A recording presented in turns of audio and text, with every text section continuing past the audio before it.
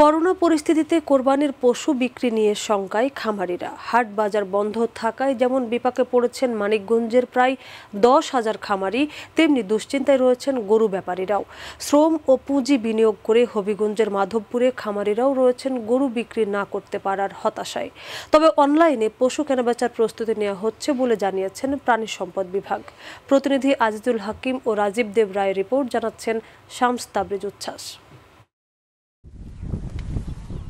মানিকগঞ্জের দৌলতপুর শিবালয় হরিরামপুর উপজেলার চরাঞ্চলে পশু মোটাতাজাকরণে ব্যস্ত সময় পার করছেন খাবারিরা বিশাল চরাঞ্চলের সবুজ ঘাস ও খড় গবাদি পশুর প্রধান খাদ্য।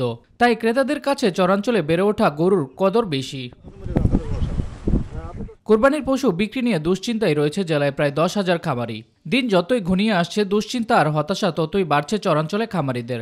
আমার শহরেও মনে করেন এখনও পঞ্চাশ ষাট হাজার গরু আছে আমরা সবাই আশায় রয়েছি ঈদের মধ্যে বিক্রি করব। যখন গরু বিক্রি না করতে পারি তাহলে তো আমাকে সমস্যা। আমরা এখন মরবো। তখন মরা সেরকম বুদ্ধি নেই কে সরকার হাট না করে দেয় আমারে। আমরা গরু পালছি চর দেশে বসে করতেছি। হাট বাজার করে হব না পোলাফনের ঈদ করা হব না ঋণ পাতি দিয়ে হব না। কোরবানির পশু বিক্রির জন্য অনলাইনে হাটের ব্যবস্থা করা হচ্ছে বলে জানিয়েছে জেলা প্রাণী সম্পদ বিভাগ। আমরা এক্ষেত্রে খামারিদের মোবাইল নম্বর সহ তাদের ছবি অনলাইনে প্রদর্শিত হচ্ছে।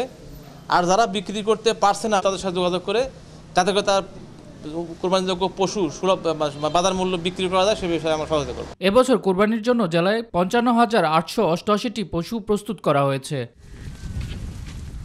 এদিকে কোরবানির পশু মোটাতাজাকরণে ব্যস্ত সময় পার করছেন হবিগঞ্জের মাধবপুরের খামারিরা। সরকারি চাকরিজীবী খোকন শ্রম মেধা ও পুঁজি বিনিয়োগ করে পশুর খামার তৈরি করেছেন তিনি। এবার আসছে ঈদকে সামনে রেখে ষাটটি সার লালন পালন করছেন। হাট বসলে গরুর ভালো দাম পাবে বলে আশা তার। খামারটা তার শখের বসে করা। দীর্ঘ অনেক দিন থেকে সে গরু গরু পালার প্রতি তার একটা আগ্রহ ছিল। ষাটটা গরু আছে সম্পূর্ণ আমরা কোরবানির জন্য রাখছি। আশাবাদী যদি বাজার ভালো হয় তাহলে আমরা এক কোটি টাকা বিক্রি করতে পারব। পশু মোটাতাজাকরণে সব ধরনের সহযোগিতার কথা জানালেন এই কর্মকর্তা। সরকার নির্দেশনা অনুযায়ী গরুর হাট বসছে না। সেই জন্য অনলাইন প্ল্যাটফর্মে অনলাইন পশুর হাট মাধবপুর নামে আমরা একটি পেজ চালু করেছি। এখানে ক্রয় বিক্রয় শুরু হয়েছে। শামস ব্রিজ উচ্ছ্বাস, মাই টিভি, নিউজ ডেস্ক।